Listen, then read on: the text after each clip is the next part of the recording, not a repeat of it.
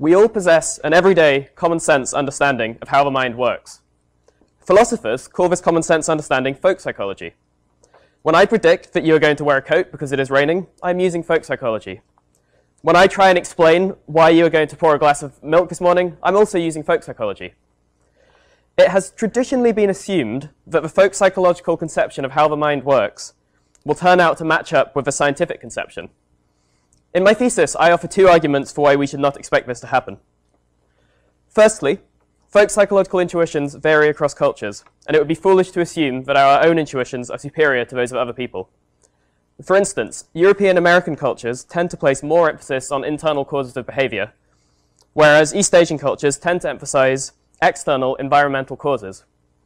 Differences of emphasis like this could have serious repercussions for our scientific theories of how the mind works. A European American scientist might assume that a certain behavior has an internal cause, whereas in reality, it is a part of an emergent social phenomenon. Secondly, Folk psychological concepts are not sufficiently fine-grained to capture the complexities of our best scientific theories of how the mind works. For example, the folk concept of memory has given way to a number of subsidiary categories, such as episodic memory and semantic memory. And the folk taxonomy of the senses has fragmented in ways that we could not have predicted by intuition by itself.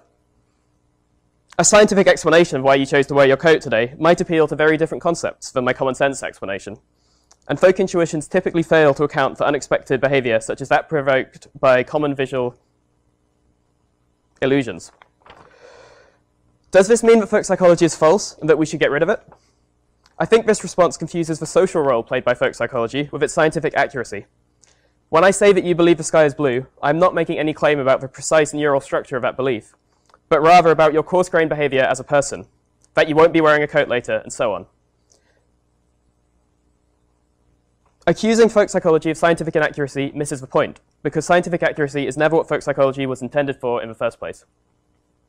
Nonetheless, folk psychology is scientifically inaccurate, and so we should take care when applying intuitive folk psychological concepts to scientific problems.